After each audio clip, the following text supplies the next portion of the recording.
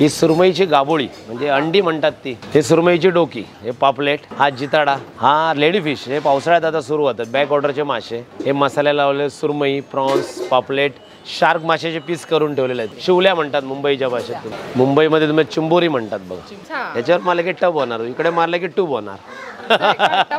नमस्कार मंडळी. कसं काय? बरा समा तुम्हाला जर मासाचं जेवण जेवायचं असेल तर तुम्हाला सावंतवाडीमधील भालेकर खानावळ महालक्ष्मी भोजनालय इथं जेऊ घ्या अतिशय ताजे ताजे मासे आणि माशांचे बरेच प्रकार देखील इथे आहेत. तर मंडळी मी हे सगळं ऐकून होते. तर आज आपण मध्ये जाऊया आणि भाऊंशी गप्पा मारूया. भाऊंना विचारूया की इथे काय काय आहे. आणि तुम्हाला माहिती आहे का इथे वेटिंग भरपूर असते. लोक तास तासभर थांबतात इथे वेटिंगमध्ये बरं का? आणि इकडचं जेवण जेवूनच जातात. तसंच इथे मोठमोठे ॲक्टर्स येतात राजकारणी येतात अगदी सगळेच येतात. चला या. ही आहे इकडची सिटिंग आता थोडंसं रिकामी दिसतंय ना? बारा वाजलेले आहेत. थोडा वेळ थांबा. मग तुम्हाला कळेल जादू. श्री महालक्ष्मी भोजनालय. शाकाहारी जेवण पण आहे बरं का इथे. साधे मच्छी जेवण बांगडा जेवण तिसरे जेवण मोरी पापलेट डाळ भात पापड उसळ हे तर आहेच. त्यासोबत आहे सवंदाळा सुळा खेकडा चणक मांदेली कोळंबी आणि आहे मटण वेरले. नमस्कार दादा. तुमचं स्वागत आहे. नमस्कार. हॉटेलमध्ये. महालक्ष्मी भोजनालय. भालेकर खानावळ सावंतवाडी. पाहिले कोल्हापूरचा वगैरे. आज योग तुम्हाला आमच्याकडे आलाय. आज तुमचं आम्ही स्वागत करतो इकडे. थँक्यू आमच्या हॉटेलतर्फे. कधीपासून आहे? हे? ही जवळजवळ आता पंचवीस वर्ष झाली. आमच्या आईने सुरू केलेली ही खानावळ घरात. हळूहळू नंतर बाहेर आली. मग त्याचा विस्तार केला आम्ही थोडा. मग हळूहळू पर्यटक आले. पर्यटकाने आमचं नाव पुढे पुढे नेत एक भारतभर आमचं नाव झालं आहे महाराष्ट्र भारत. आणि आमचे जास्तीत जास्त प- जे जे खवय्ये आहेत आमचे ते कोल्हापूर सांगली सातारा पुणे मुंबई नाशिक बेळगाव गोवा उस्मानाबाद. जे प्रॉपर खवय्ये आहेत ना ते पालघरवरूनही येतात. आम्ही पालघरवरून आलो. पापलेटचं माहेरघर पाल पालघर आहे. पण आमचा जो मालवणचा मासा हा तुम्हाला पारंपरिक म्हणजे रात्री फिशिंग करून सकाळी तुम्हाला मिळतो. तो मासा आम्ही ख- खरेदी करतो. जास्त रेट जरी असला तरी. त्याच्यामुळे आम्हाला ग्राहक मिळतात. म्हणजे बा चांगला मासा मिळतोय तुमच्या. आजची पोझिशन अशी आहे की मालवणला आज मासा पंधराशे रुपये सुरमई आहे. तेराशे रुपये बाराशे रुपये होलसेल रेट आणि पापलेट तुम्हाला लहान साईजमध्ये घेतलं तर पापलेट जागेवर चौदाशे रुपये तेराशे रुपये किलो आहे. आणि मोठं पापलेट घेतलं तर जागेवर जवळ सोळाशे रुपये किलो आहे. मग आमच्या हातात पडेपर्यंत सतराशे अठराशे रुपये होतं. होणारच. मग त्याच्यावर ठराविक मार्जिन घेतो. ह्या वेळेत आम्ही जास्त मार्जिन घेत नाही कारण पर्यटक पण आहेत. आणि जास्त कस्टमरची मागणी सुरमई प्रॉन्स पापलेट. हे तीन मासे त्याच्यानंतर. शिंपले वगैरे आणि खेकडे. पण एक नंबरला तुम्हाला कस्टमर विचारतो नव्वद टक्के सुरमई. म्हणून त्याला माशाला किंग फिश म्हणतात. म्हणजे माशांचा राजा. आणि त्याला मागणी पण राजासारखीच आहे. सुरमईचे आमच्याकडे दोन तीन प्रकार असतात. म्हणजे अडीचशे रुपयेवाली पण थाळी आहे तीनशे. साडेतीनशे रुपयेवाली आहे चारशे पन्नास. अगदी मोठा घेतलं तर साडेपाचशे साडेपाचशे सहाशे पर्यंत होते. कारण कस्टमरला पण परवडली पाहिजे. सगळेच सहाशे घेऊ शकत नाही. सावंतवाडी म्हटल्यानंतर भालेकर खानावळ आपण किचन पाहू शकतो का? हो या मॅडम चुलीवरचं जेवण थोडं गॅसवरचं पण जेवण आहे मॅडम अच्छा. इकडे आता मच्छी कढी भात जे मोठे आयटम आहेत ते सगळे आम्ही चुलीवर करतो लाकडावर. आणि लाकूड जास्तीत जास्त परवडतं. टेस्टला पण चांगलं आहे. जिकडे एक लाखाचा गॅस लागतो तिकडे दहा हजाराच्या लाकडात जेवण होतं. म्हणजे किती फरक आहे तो बघा ना. सुकी लाकडं असतात वेस्टेजमध्ये टाकलेली असतात ती घेतो. म्हणजे दा मोठी झाडं तोडत नाही. ही कॉमन फिश कढी आहे. ही प्रत्येक थाळी जी कुठली तुम्ही थाळी घ्याल त्या थाळीबरोबर प्रत्येक थाळीबरोबर ही फिश कढी असते. आज आहे ती बांगड्याची कढी आहे. फिश कढी आणि जो राईस आहे तो आमच्याकडे अनलिमिटेड आहे. तुम्ही खाल तेवढा. फक्त एक आमच्याकडे असतं की तुम्ही वेस्टेज करू नका. बरोबर तुम्हाला पाहिजे तेवढी मागा. आमचा कुठलाही माणूस तुम्हाला नाही म्हणणार नाही. हे तुम्हाला फिश कढीमध्ये जे गा बेस जो आहे तो ह्या वाटपाचा आहे. ही त्याच्यामध्ये मिरची घातलेली आहे. एप्रिलमध्ये जेव्हा ही मिरची आली मार्केटमध्ये ह्या वर्षी बावीसमध्ये तेव्हा रेट होता याचा बाराशे रुपये. नंतर परत थोडं मिरचीचं नुकसान झालं मग रेट वाढला आणि आता परत मिरची मार्केटमध्ये आला त्याचा रेट झाला आहे सहाशे रुपये पाचशे रुपये एवढा खाली आला ही आता दिसते लाल तुम्हाला. पण जेव्हा तुम्ही ग्रेव्ही करणार ती पि पिवळी येते. मी प्रत्यक्ष बघितलं आता. ही नाही मिरची तरी मालवणी कढी होऊ शकत नाही. मालवणी लोकांना सर्वांना सिंधुदुर्ग जिल्ह्यातल्या सर्व लोकांना हे माहिती आहे. मुंबईमध्ये राहणारे कोल्हापूर पुणे सांगली कुठेही भारतात किंवा भारताच्या बाहेर. हे आवर्जून ही मिरची घेऊन जातात ते. हे बघा याच्यामध्ये गावठी पद्धतीने जे आम्ही बकऱ्याचं मटण करतो ते येतात इथे शिजण्याची प्रोसेस चालू आहे. चुलीवरचं मटण जे म्हणतात ते हे.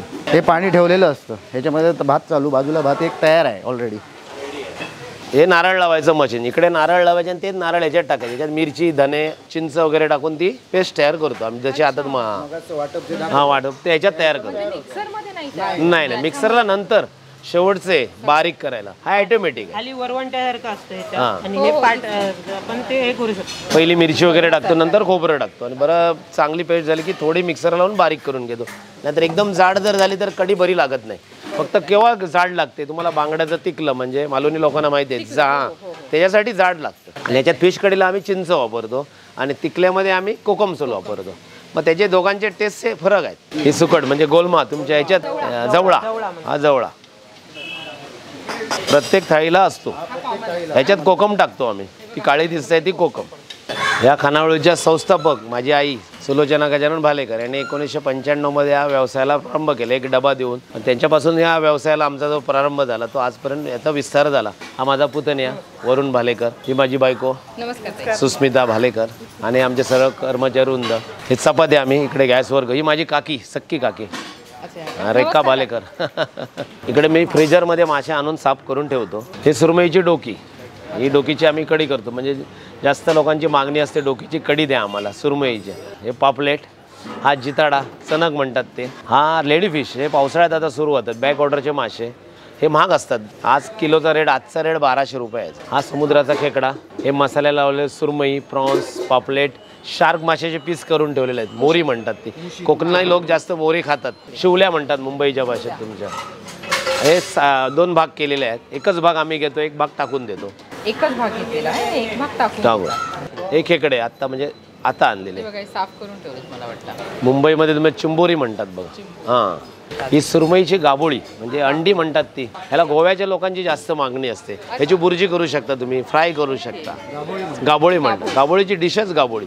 हा मसाला फ्रीजमध्ये ठेवल्यानंतर काही होत नाही. महिनाभर जरी तुम्ही ठेवला त्यात लिंबू लाल मिरची हळद आणि मीठ. बाकी काय नाही. आम्ही कुठलं केमिकल वापरत नाही. चव येण्यासाठी. हा सोडलाय तो जिताडा. म्हणजे मुंबईच्या भाषेत जिताडा आपल्या भाषेत चणक इंग्लिशमध्ये त्याला व्हाईट स्नॅपर म्हणतात. हे पापलेट आणि हा जो वापरलाय रवा त्याला वर कोटिंग ते तांदळाचं आहे. आणि तुम्ही घरात पण करू शकता. फक्त मिक्सरला लावायचं. एकदा फक्त बटन मारायचं आणि रिवर्स घ्यायचा की रवा तयार होतो. जास्त फास्ट ठेवलं तर पीठ होणार त्याचं. ते आता प्रॉन्स सोडली आहेत. व्हाईट प्रॉन्स आम्ही चालू प्रॉन्स शक्यतो वापरत नाही किंवा प्लांटेशनची वापरत नाहीत. व्हाईट आजचा रेट त्याचा सातशे रुपये किलो आहे आमच्या मार्केटला मालवणमध्ये जागेवर त्याचा रेट सहाशे साडेपाचशे चालला आहे हे पण फ्राय ह्याला मागणी जास्त आहे आमच्याकडे. हां. असा हे आला पाहिजे रेड कलर तुम्हाला माशावर. तेव्हा तुमचा मासा एका साईडने झाला. हां असं आहे. बघा त्याला कलर कसा आहे. हा कलर आला पाहिजे. मी आतापर्यंत आता बऱ्याच ठिकाणी गेले मी खेकडा फ्राय कुठेच नाही हां. हे आम्हीच सुरू केलं आहे पहिलं.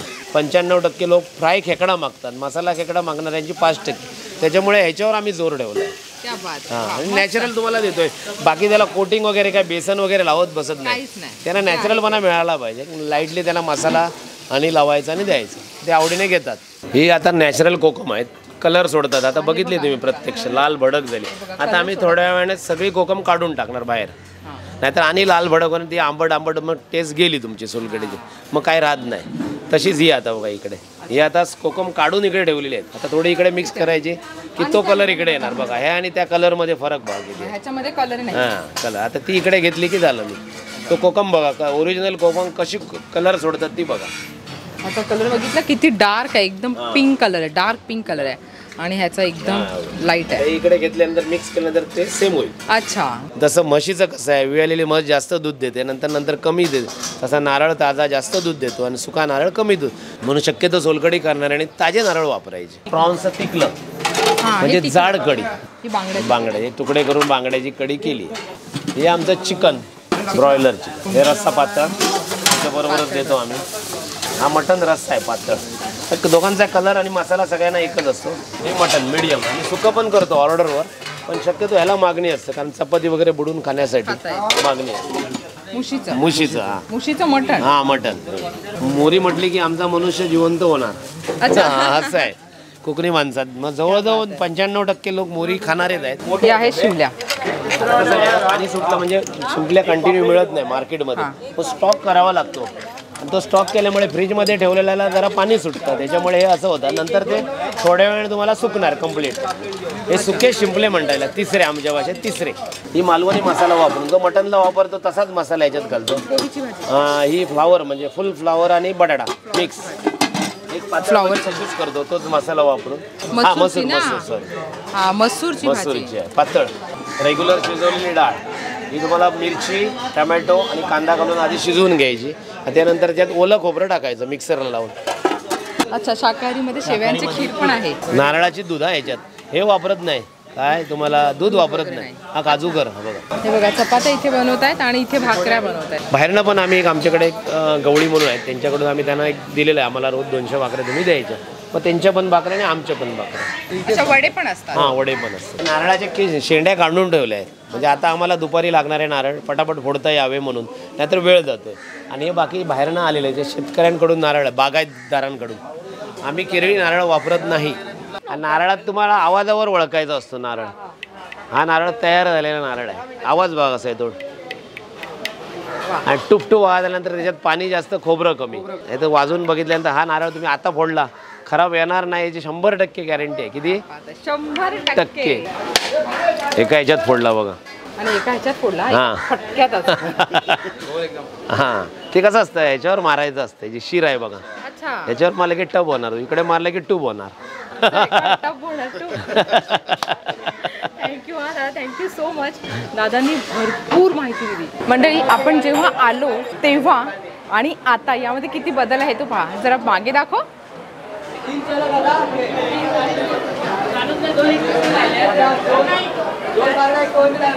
पाहिलीत मागची गर्दी.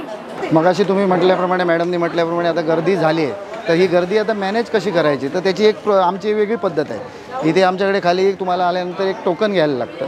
ते टोकन घेऊन बसल्यानंतर तुम्ही वेटिंगमध्ये बसायचं. वेटिंगमध्ये बसल्यानंतर इथे एक आमचा एक माणूस असतो. ते तो टोकन लावून बोलवणार की त्याने आतमध्ये जायचं. म्हणजे तिथे कुठलंही काही प्रकारचं आत आलं आहे रिगारिंग झाली असला काही प्रकार होत नाही. ज्याप्रमाणे नंबर आहे त्याप्रमाणे नंबर मिळणार. म्हणजे कोण व्ही आय पी आलं तरी तेच आहे. आणि कोण साधा माणूस आला तरी त्याला तेच आहे हे आम्ही मुद्दाम ठेवलेलं आहे. यांच्याकडे शंभर कुटुंबांचा एक गणपती असतो. अच्छा. आणि हे अशा प्रकारचं टोकन आहे. इथे नाव लिहून घेतलं जातं आणि हे असं टोकन दिलं जातं. याला टोकनला नंबर येणार आहे हे जे वेटिंगचं जे पूर्णपणे सांभाळण्याचं जे श्रेय आहे ते विक्टर फेराव यांच्याकडे जातं. विक्टर फेराव आणि राजू बालेकर हे लहानपणापासूनचे मित्र आहेत. आणि त्यांची ती दोस्ती अशी आज राहिलेली आहे आज इतके वर्ष. फटाफट फटाफट ताटं तयार करतात. बाहेर गर्दी आहे. आता एका थाळीमध्ये तुम्हाला फिश कढी येणार तिकलं येणार बघा ही पापलेट ऑर्डर आहे फ्राय फिश येणार. खेकडा पाहिजे तर खेकडा थाळी येणार सुरमई फ्राय फ्राय पाहिजे तर सुरमई. तर ही लावण्याची पद्धत आहे. त्याच्यामध्ये फिश कढी तिकलं सुकटची चटणी सोलकढी. चपाती भाकरी तुम्हाला काय पाहिजे हवे असेल ते. आणि सुकटची चटणी राईस. राईस आम्ही नंतर सर्व करतो. कोकणामध्ये जो नाचणा पिकतो व पूर्णपणे तुम्हाला शुगरला वगैरे एकदम नाचणा चांगला असतो. नाचण्याची भाकरी ही अशी करतात. बाजूला जी चालू आहे ती तांदळाची भाकरी आहे.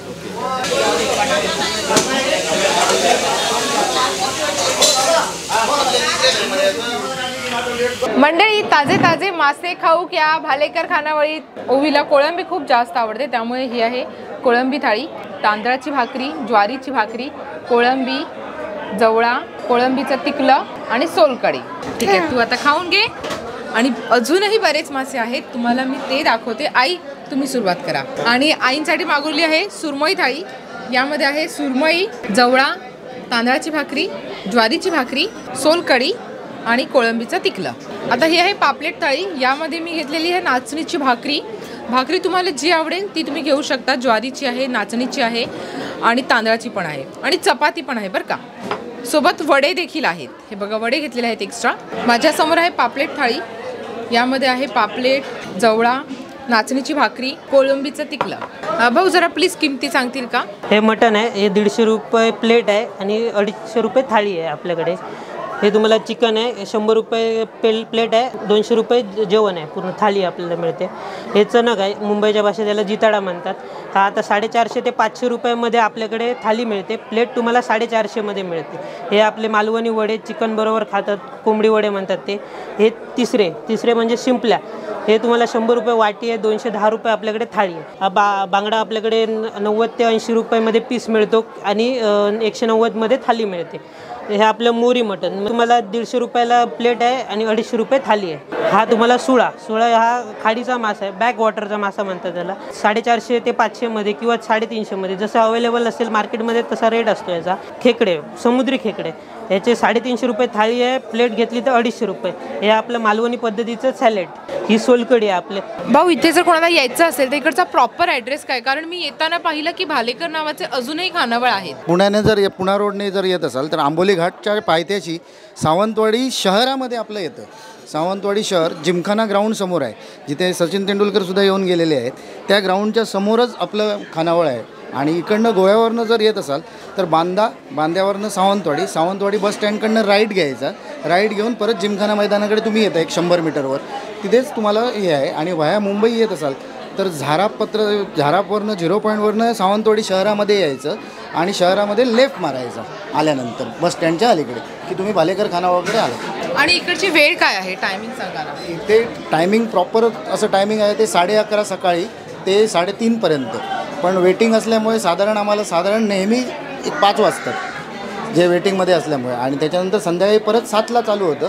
ते रात्री अकरापर्यंत आम्ही प्रॉपर टायमिंगमध्ये असतो. पण तरी पण बारा वाजतात आम्हाला. आणि खेकडा तोडण्यासाठी ओवीने दादाला सांगितलंय. होय ना ओवी? हे बघ कसं अख्खं अख्खं काढलं त्यांनी. मग काढायची पद्धत असते ॲक्च्युली बघा. तुम्ही जर सावंतवाडीला आलात ना तर इथे तुम्हाला नक्की यायचं आहे नाही तर तुम्ही काहीतरी मोठं मिस कराल बरं का. ओवीला तिसऱ्या खूप आवडल्यात आणि आईंना पण आमच्या. चव अप्रतिम आहे मालवणी भाषेमध्ये म्हणायचं तर असा खय मिळायचा नाही. एक नंबर आहे बरं चव ओवी तुला कसं वाटलं. इथे आलात की भालेकर खानावळला व्हिजिट द्यायला विसरू नका. आणि दादांचं नॉलेज म्हणजे जेवढं छान त्यांचं जेवण आहे तेवढंच त्यांच्याकडे नॉलेज पण भरभरून आहे. भरभरून मला देखील शिकायला मिळालं आणि खूप छान वाटलं. आणि पुन्हा एकदा थँक्यू सो मच सांगेन. ज्यांनी ज्यांनी मला भालेकर खानावळ हे जे नाव सांगितलं त्यासाठी आम्ही आमच्या जेवणाचा आस्वाद घेतो. Bye bye